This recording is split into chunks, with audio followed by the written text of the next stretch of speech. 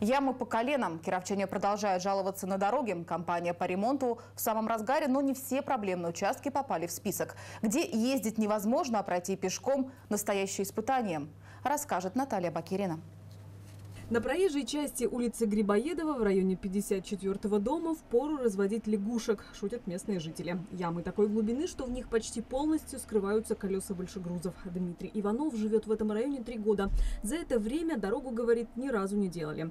В этом году жителям пообещали ямы засыпать щебенкой. На подъездах висели объявления. Правда, кто именно обещал людям ремонт, они так и не поняли. Там объявления в домах висели, что якобы в мае должны все исправить.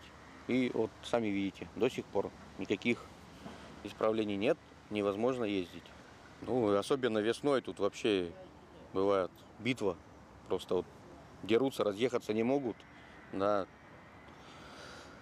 бампера отрывают. Чтобы объехать дорожные ловушки, автомобилисты проявляют мастерство фигурного вождения. Правда, не попасть в яму все равно нереально.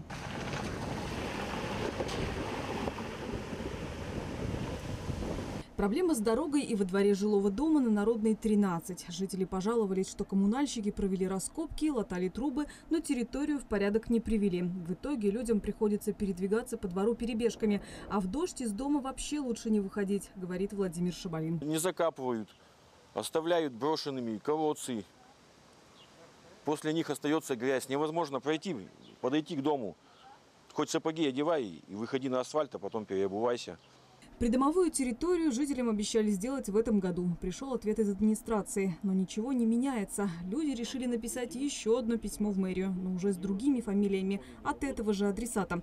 Ответ пришел, но настроение от него не поднялось. Планируется выполнить за счет инвестиционных, инвестиционной программы 19-20 год при наличии источника финансирования работ. Жителям остается ждать или приводить двор в порядок своими силами. Если средств на это не выделят, ремонта здесь не предвидится. Наталья Бакерина, Даниил Кочкин, Бюро новостей Давича.